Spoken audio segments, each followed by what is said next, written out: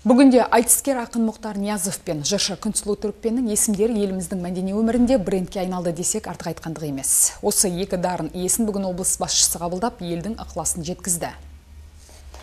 Айтыскер болу әсте оңай емес тіпті бұл өнерді басқа өнермен тең қою да мүмкін емес.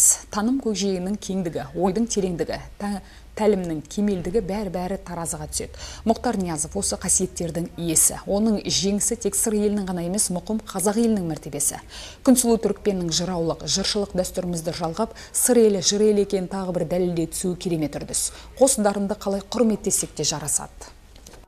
бір ғана адамның қолынан ештеңе келмейді оны әрдайым айтып жүреміз енді сөзімізде міндетті түрде оған қолдау керек біздің тек қана осы қызметте ғана емес мүмкіндік жа- жағдай жасап осыған осы күнге жетуімізге көптеген азаматтардың ықпалы тиді алмас алматов ағамыз айтады өнер мұрагер ұрпақтар арқылы жаңа жалғас сипатқа ие болады дейді біз өз кезегіміздегі эстафетаны адал жолмен сол кейінгі өзіміздің буынға тапсырсақ бұл бір рухтың бір ұлттың ұрпақтың бір рухани серпіледі деп ойлаймыз. Алмас алматов ағамыздың жақсы сөзі бар.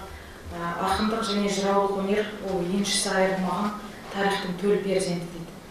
Ә, расымен де ә, сырдың киесі ол сол жырында өнерінде сонысымен де сыр елі жыр елі деген үлкен айдарлы атқа ие болған.